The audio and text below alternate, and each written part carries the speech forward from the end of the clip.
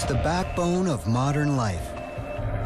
It's in the food we eat, the houses we live in, the cars we drive. Oil is one of the most important commodities in the world. But what would happen if all the oil in the world suddenly disappeared?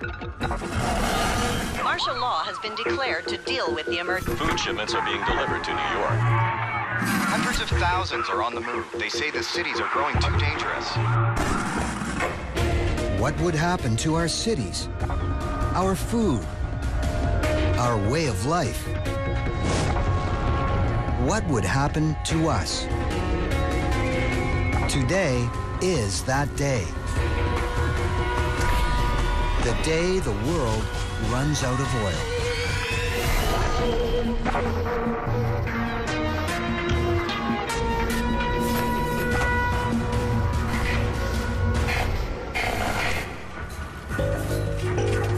Oil. For 150 years, we've been extracting it from the ground. An economical, versatile fuel that has made the modern world possible. In California, the Kern River oil field is a black underground pool containing more than half a billion barrels of oil.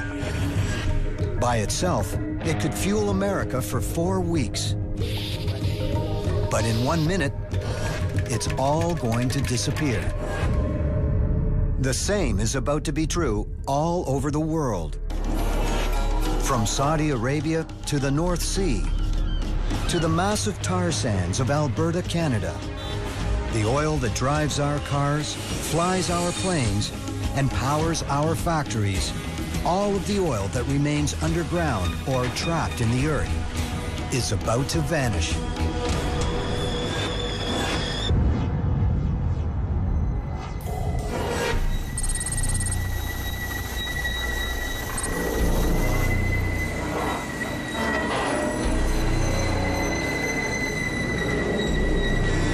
From deep underground, an ominous signal. There's something going on. I gotta go. Yeah, going on. We've extracted more than a trillion barrels of oil from the earth. About the same amount is supposed to be left. What's going on? I have, I have no idea what's going on. Yesterday, this single refinery processed 300,000 barrels of oil. But suddenly, there's nothing.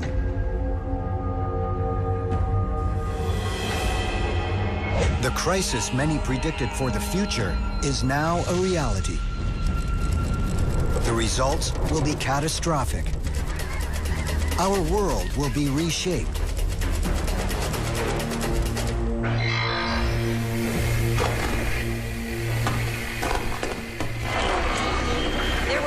Were estimates of a trillion barrels of accessible untapped oil, but scientists are now confirming that it's all gone. Around the world, from Saudi Arabia to Alaska, the oil below the ground has disappeared.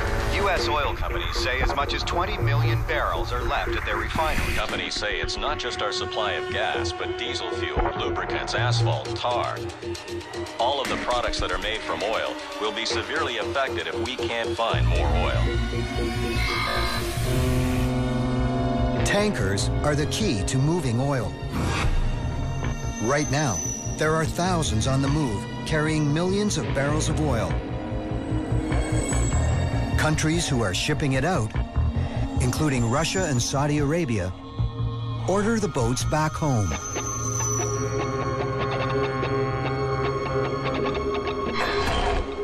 It's a huge blow to the United States.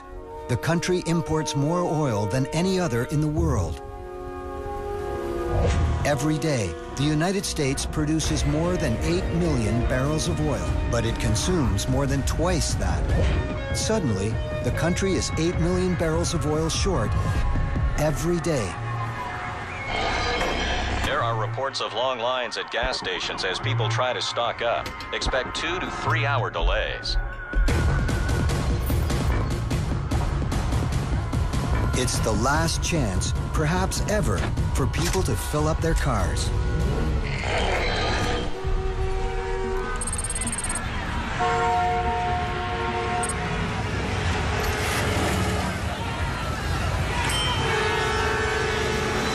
During the 1973 oil embargo, a reduction in oil imports meant stations across America began to run out of gas.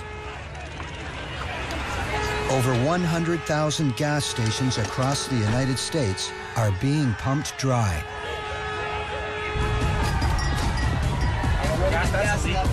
The same is true at others around the world. The price for what remains has skyrocketed. Many countries do have oil in reserve. United States alone has 725 million barrels of crude hidden away. To protect the precious oil that remains, the government takes dramatic steps. Planes, trains, boats, all of them run on fuel that comes from oil. All but the most vital transportation is shut down. Tracks are empty. Flights are grounded.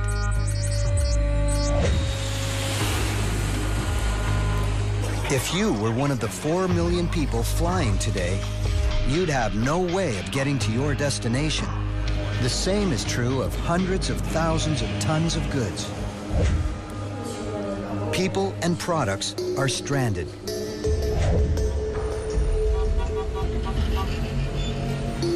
The economic fallout is swift. Uncertainty, like the panic that followed the terrorist attacks on 9 11, forced the U.S. government to halt stock trading. More than $2 trillion worth of oil stock are now worthless.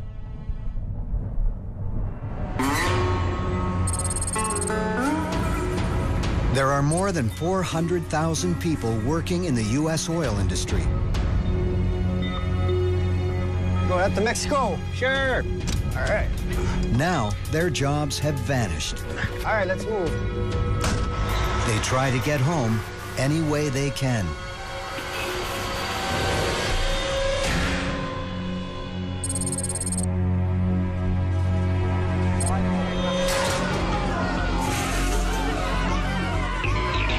So much uncertainty about what will happen next, thousands of other manufacturing plants close immediately.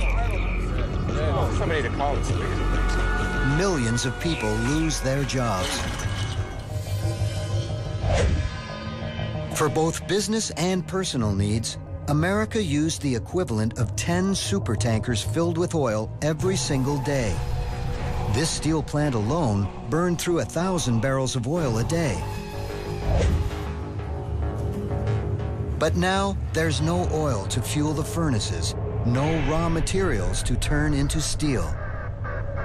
Without steel, there's no new construction, no cars. And it's not just steel. Oil is one of the most powerful, versatile fuels on the planet.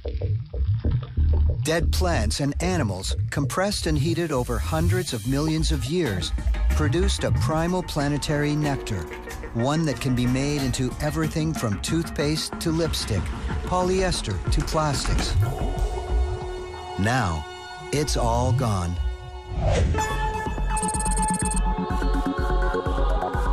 An enormous chain reaction is set in motion. What's your name? Need a bed in here, stat? Let's get him on the... The lack of oil will soon cripple every part of our lives.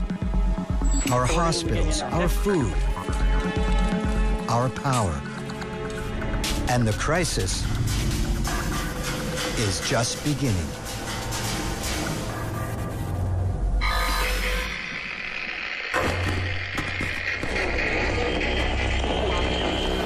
Martial law has been declared. The National Guard is now patrolling downtown Washington and Los Angeles. EU Strasbourg are sending 100 million barrels of oil to England. Stock markets from Tokyo to New York remain closed. Unemployment is over 30%.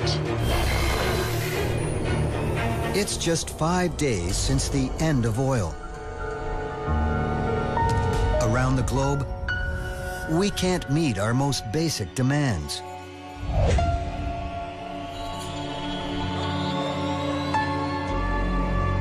Food terminals across North America have been closed since the end of oil. In California alone, 1,300 trucks a day used to leave the state carrying fresh fruits and vegetables across the country. Trucks would deliver products to centralized food terminals where other trucks would take them to grocery stores. But now, without fuel for trucks, groceries simply aren't being delivered. Enormous cities like New York are hit hardest. It took an average of about one American football field of farmland to support the diet of one person for just one year. Before the crisis, a trip to the grocery store was a part of the regular routine for North Americans. Now, armed guards protect stores that have food. 30% of fresh fruits and vegetables didn't even make it to the grocer's shelves because of small imperfections. But now, everything is being sold. Almost a quarter of it came from other countries.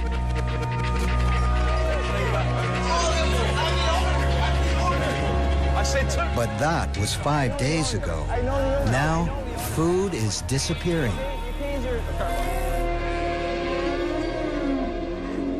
Farms also have too many mouths to feed. Every day, an adult cow eats 45 kilograms of feed. A pig eats three and a half kilograms. Now, there's no more food arriving.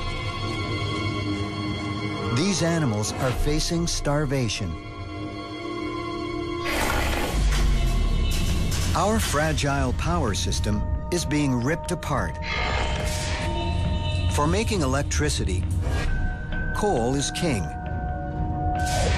40% of the electricity in the world comes from coal-burning power plants. This plant in England burned coal that comes from as far away as the United States. And all of it arrives by train. Each car could carry enough coal to power a small town for a day. Today, without oil, the trains aren't running. Blackouts spread across North America. But of all the states, Florida is hit particularly hard. It relies more heavily than any other state on electricity generated directly from burning oil. Big city hospitals are equipped with emergency backup generators, but they run on diesel fuel. This Miami hospital is on its last tank of diesel. There's only enough fuel for the next eight hours. The dark nights hide a changing world.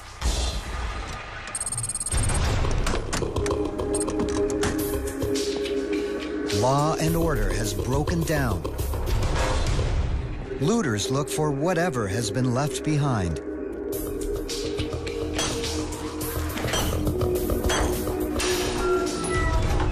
People are desperate, but they're not always looking for food.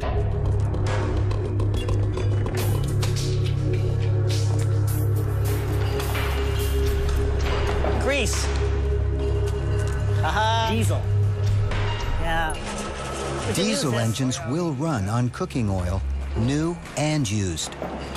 And diesel engines are 30% more efficient than gas.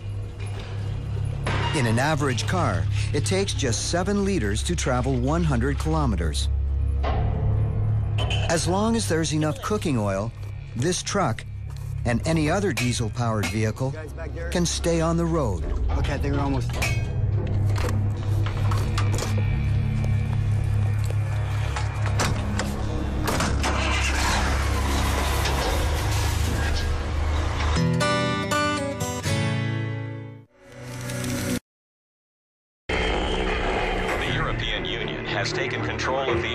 And rail lines. Rationing of fuel for emergency food shipments will begin soon in the hardest hit areas. The White House is warning that the oil reserves are down to just 500 million barrels. Experts predict that the United States may run out by the end of the year.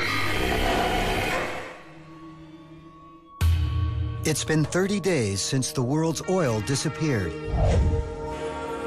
Governments around the globe are taking dramatic action. Essential services are protected. Emergency oil reserves are turned into diesel fuel for trains. Coal is being delivered to power plants again. Some basic electrical services are restored in countries around the world. But in North America, electricity is delivered through a system of isolated power grids. It can't be sent from grid to grid. In Florida, where much of the state's power comes directly from oil, blackouts are still widespread.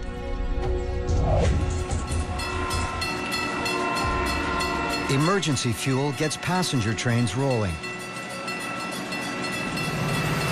But now they're carrying food into hungry downtowns. But moving food is dipping into the world's emergency reserves. In the United States, there's only enough oil to last for 11 months. Cars, which once defined the country, may never get back on the road in the numbers they once did. There are over 235 million cars that run on gasoline in America. Imagine pushing your car for nine kilometers. That's the power of one liter of gasoline. But the country needs cars. It's literally built to serve automobiles. Half of America lives in the suburbs. Most of what we consume is delivered to us. With the end of oil, that easy suburban life is disappearing.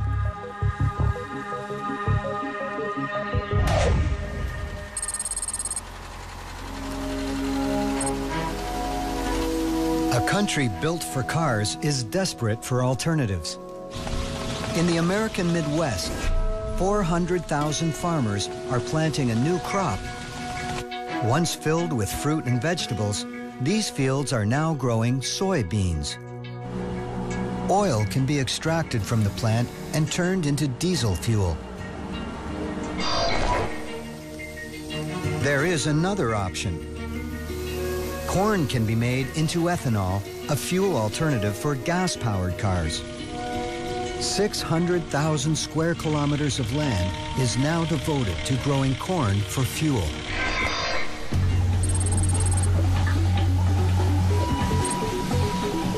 And there's proof that ethanol works. In Brazil, there are still cars on the road, even without oil. Cars and trucks here can run on ethanol made from sugarcane. North America is decades behind. But there's hope that the end of oil might not be the end of the line. Thousands of electric cars can already be seen on the streets of the United States. On a planet without oil, they could very well be the future. But to get to that future, the world is going to suffer through a dark, dangerous winter.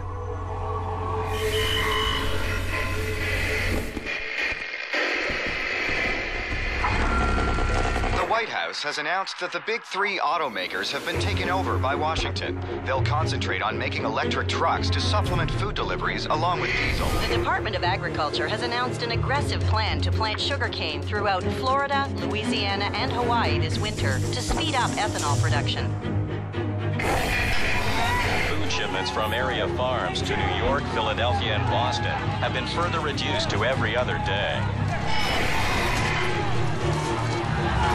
It's been five months since the end of oil. In big cities throughout America, food terminals have closed. Long lines form at train stations.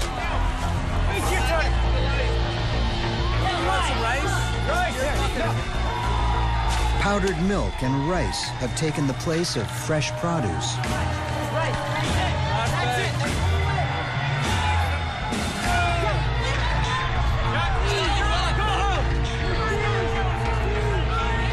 Hungry cities don't have enough to eat. Food shipments, coal deliveries, fire trucks, and other essential services all are still getting fuel from emergency supplies. But almost everything else is at a standstill. To make the final barrels in reserve last as long as possible, the United States has further reduced its oil use. But if there are no workable large-scale alternatives, within months, there won't be any food deliveries at all.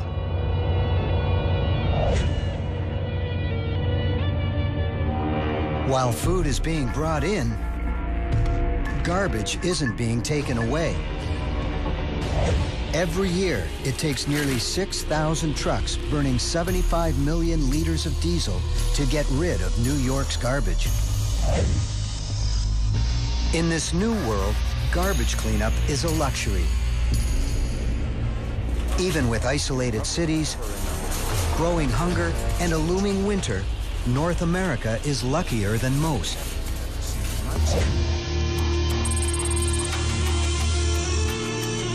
Ninety-six hundred kilometers away, economic disaster.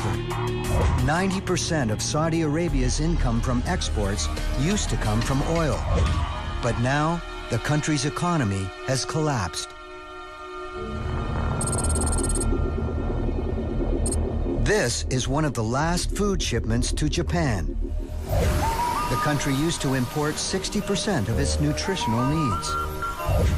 The population of one of the most prosperous countries in the world will begin to starve.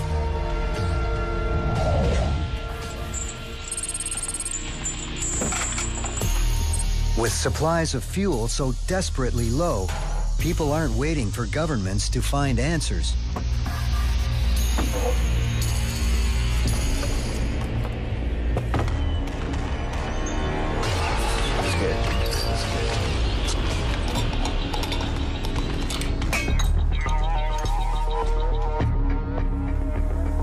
In garages and basements, people are finding ways to use their Ready cars. Combining methanol, lye, and other scavenged chemicals, people are becoming chemists. Homemade biofuel is being distilled.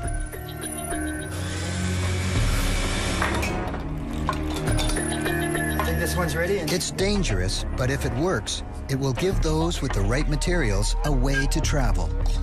To leave the cities if they need to. I need the final one. yeah. But such do-it-yourself solutions only work for cars that run on diesel fuel. Or, yeah, here we go. These methods won't be able to keep diesel-driven cars on the road for long. You're the best. You're the best.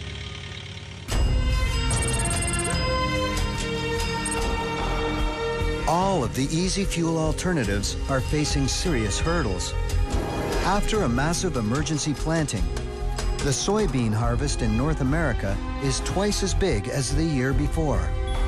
Almost 2 billion liters of biodiesel have been produced, but that's still less than 1% of the diesel North Americans used each year before oil disappeared, and there won't be any more shipments until next harvest. Corn used for ethanol is also seasonal. In the last five months, more fuel from corn was produced than ever before. But governments around the world face a brutal choice. Should next year's crops be used for fuel or food?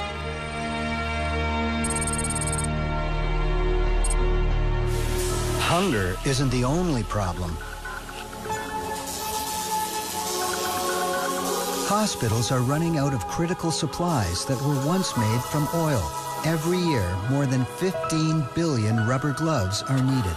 Drugs, lubricants, plastic gowns, all are made from oil.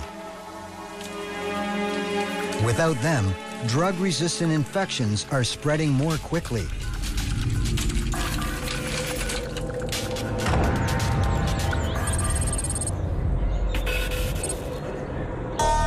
Even with crumbling health care, some people are still surviving in the cities. But now, there's another hazard.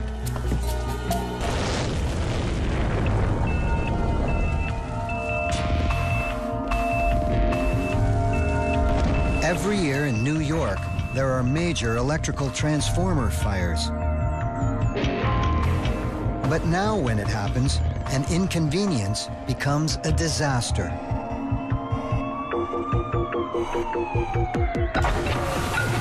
Abandoned cars make it difficult for emergency crews to respond. To make things worse, winter's coming. Put in all your winters. Throughout the Northern Hemisphere, people have to make a decision. Stay in the hungry, dangerous cities or get out.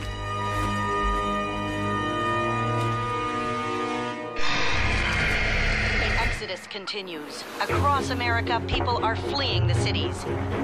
It's being called Emergency government transport. By foot, by sled. However they can, they're getting out. As the temperature plummets, hundreds of thousands of people are leaving. New York, Chicago, Detroit. They're heading Throughout Europe, the destinations are Spain, Greece, and southern France. All are being overwhelmed by desperate immigrants trying to escape numbing cold.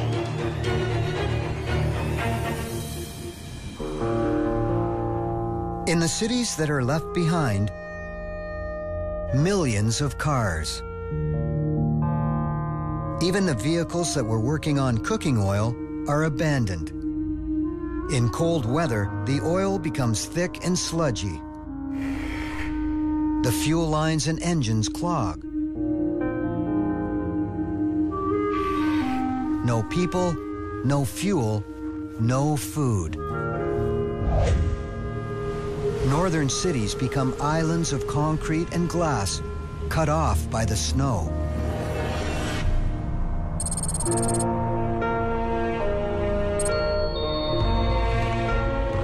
Desperate to survive, There's something, all right? some people retreat north to the country. They bring whatever they've been able to carry, Two cans of sliced carrots. non-perishable food to get them through the cold weather. But they'll only be able to eat what they've brought. Or what they can hunt and trap. Coming out. An adult male will need about 210,000 calories to get through the winter. A long winter looms in the country and the cities.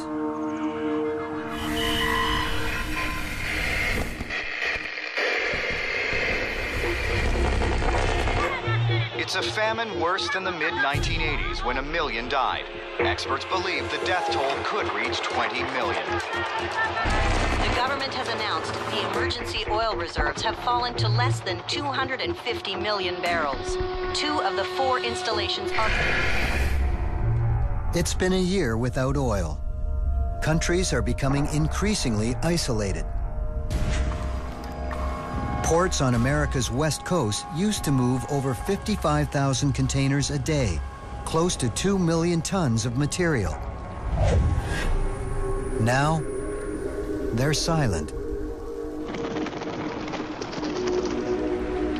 The same is true around the world. Ports are shut from Russia to Japan. International trade is virtually over. Gas-powered cars, echoes of a bygone era, sit undelivered. The world's military has lost its power. In the United States, the Department of Defense used to be the largest single consumer of fuel, spending nearly $180 billion a year. Now, many tanks and planes have been abandoned. They're simply too expensive to run.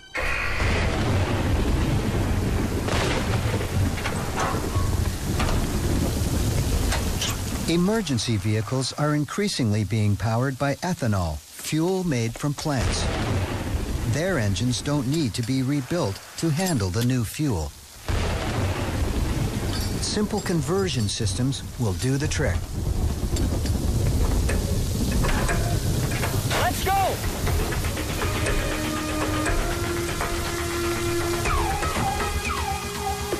But while ethanol works for emergency vehicles, it's not the solution for the rest of the world.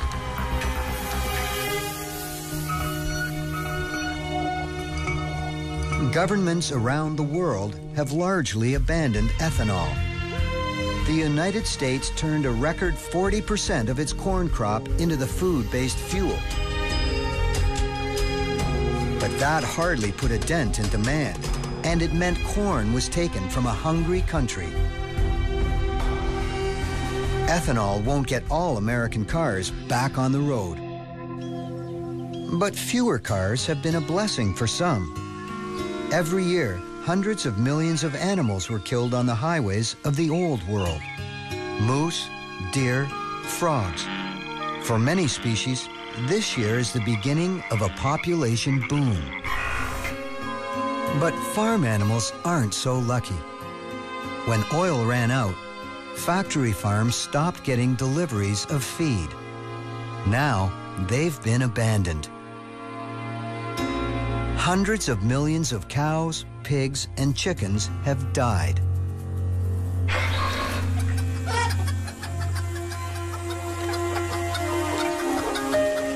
In the country, the future looks increasingly like the past. Show me what you got.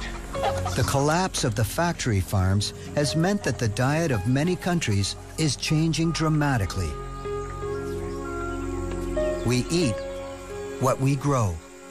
Hello, hi. Around the world, food production has become increasingly local. Urban farms are taking root.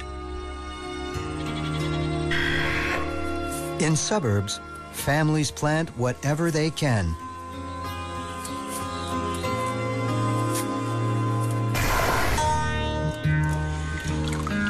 People reuse what they once threw out. Every year, oil was used to manufacture one trillion plastic bags. Countless other plastic products, bowls, spoons, and containers were also made from oil. Now, the world of plastic is ending. A state of emergency has been declared in Florida. It's not just the suburbs that are changing. A Category 5 hurricane has devastated Miami. Thousands are feared dead. When Katrina smashed into New Orleans in 2005, the cleanup continued for years. But in Miami, there's no fuel to rebuild. It's not the only challenge facing the big cities. The influenza outbreak continues to rip through America. Los Angeles, Miami, Houston, all are still struggling. Quarantine zones are being created. The Center for Disease Control say the death toll may be as high as 200,000.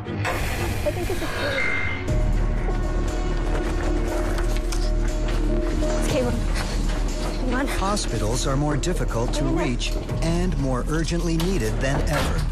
Come on, Ian. People who have saved gasoline for just such an emergency get a shock. Hoarding precious stores of gasoline doesn't work. The chemicals that kept it fresh have degraded the gasoline. After a year, the fuel has gone bad. What's going on? Run. A world that was once so closely connected is falling apart.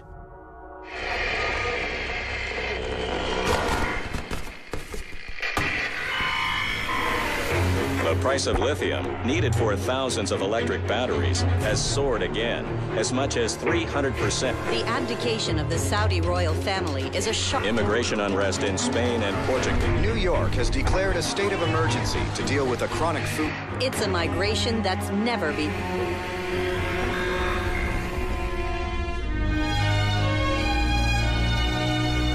It's been 10 years since the world's supply of oil disappeared.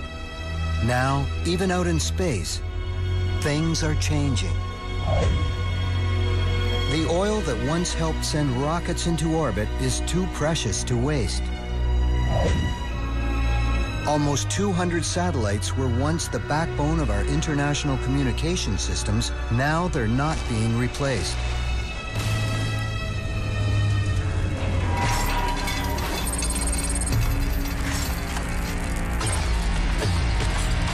But in the world without oil, discarded electronics are now a resource.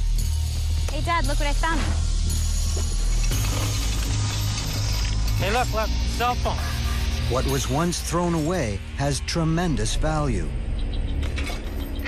A ton of used cell phones contains over 275 grams of gold, almost 135 kilograms of copper, and over two and a half kilograms of silver, vital materials in a world where trade has stopped. Hey, Dad, I think there's some gold in that. Oh, yeah.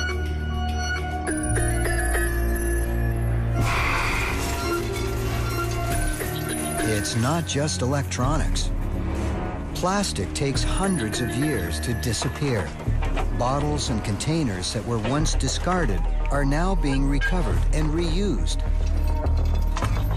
People are recycling like never before on both a small and large scale.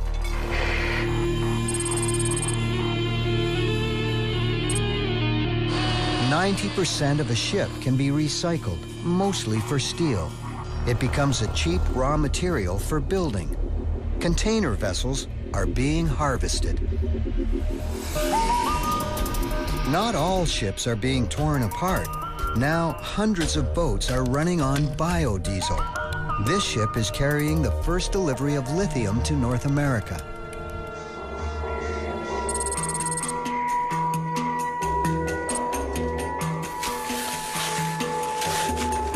The lithium comes from Bolivia, where it is being mined from the country's salt flats by the ton.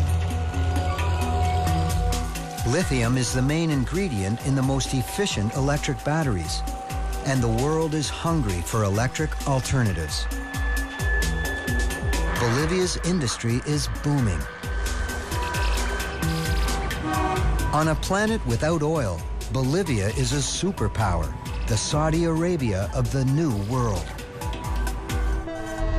But for now, there isn't enough biofuel to completely restore world trade. However, another alternative is being aggressively pursued. Algae can be processed into oil, producing over 7,000 times more energy per square kilometer than other biofuels. And it's completely renewable, requiring very little fertilizer. 10 years after oil, 38 billion liters of biofuel made from algae are in use. But for now, there's not enough biofuel to get us back in the air. Commercial flying for cargo and for passengers is still far too expensive. 34 million passengers used to come through this airport every year. Other transportation is bringing much needed supplies to the world's hospitals. Some 2 million cargo trucks are back on the road.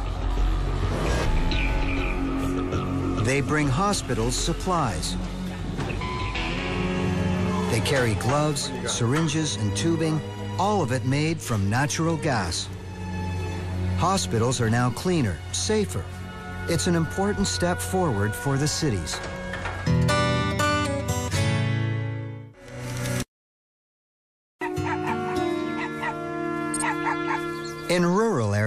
Hundreds of thousands of people are becoming increasingly self-sufficient. It's not new technology, but old that's being seen more and more. Without easy access to new, people are being forced to redesign, reuse, and rebuild what they have. Great. Even solar panels can be jury-rigged from discarded items like aluminum cans.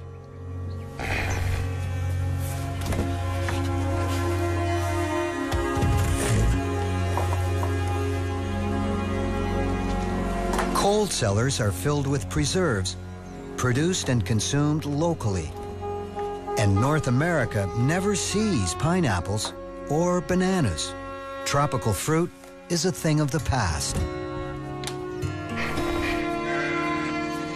Organic meat, locally grown vegetables, the North American diet has changed. The lifestyle is healthier. Cholesterol levels are down. There's less heart disease. But with the breakdown of our high-tech medical system, life expectancy is actually lower.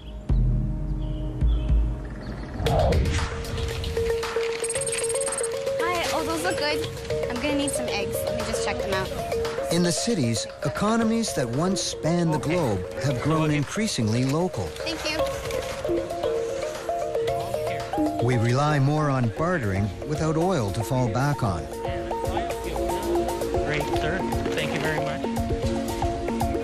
Here. Urban homes are different too. Not just places to live, but places to generate power, grow food. We've all become more self-reliant. Cheers.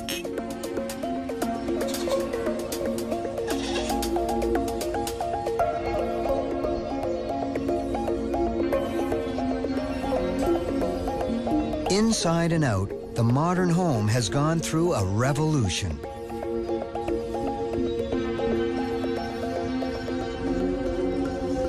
The human toll has been great. Communities are fractured. Families have lost loved ones.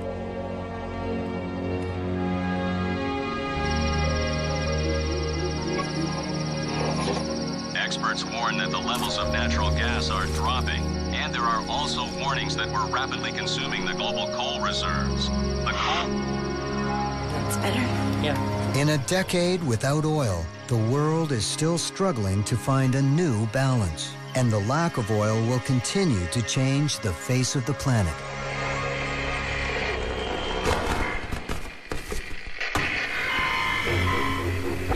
Hostilities continue as China expands its lithium exploration across the Tibetan border. Estimates are that as much as 400,000 tons. Annual census shows that LA continues to be the country's largest city, with some 20 million people in Los Angeles. It's the first flight of a jet entirely powered by biodiesel. The company says it's planning six transatlantic flights a year. It's been 40 years since the world supply of oil disappeared. The skies over this new world are noticeably cleaner. For 40 years, there have been no planes. Gasoline-powered vehicles are gone. Factories that once burned oil have long shut down. In Canada, the US, and Mexico alone, 3.1 billion metric tons of toxic pollutants have vanished every year. In North America, people have returned to some of the large northern cities. They've transformed the ruined roads and buildings. Abandoned apartments have been turned into greenhouses. An industrial powerhouse has become a farming society again. Now, parking lots and parks have been reclaimed and farmed. In New York, the city's Central Park is now a massive three and a quarter square kilometer farm. It helps support those who have returned to New York. This city eats what it grows. The days of mass food delivery to the suburbs are over. Stores abandoned and forgotten. Gasoline is completely gone. The oil reserves are empty. There are a few cars on the road, but they're much different than before. Cars used to weigh an average of 1,800 kilograms each, but the new vehicles are considerably lighter. And they're powered by electricity. Their bodies and engines aren't made from metal, but from lighter materials like carbon fiber.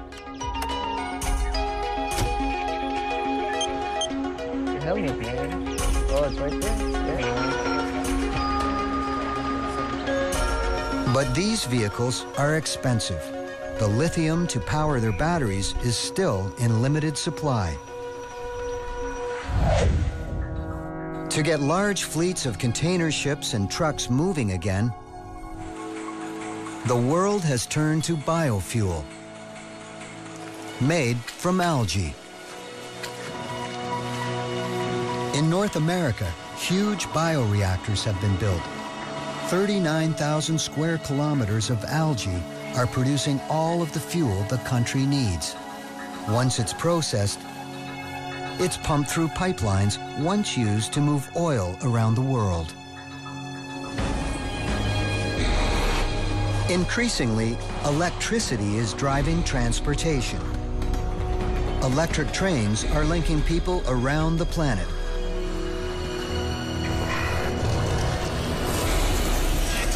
Cities are growing up all along the rail lines. Other cities are abandoned.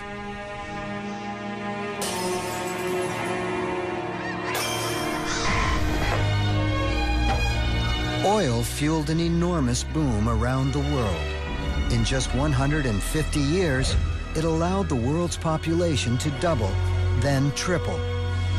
It allowed food production to explode, world trade to expand. Without oil, the world has been profoundly reshaped. Our cities, our skies, our roads look nothing like they once did. Changing this one thing changed everything.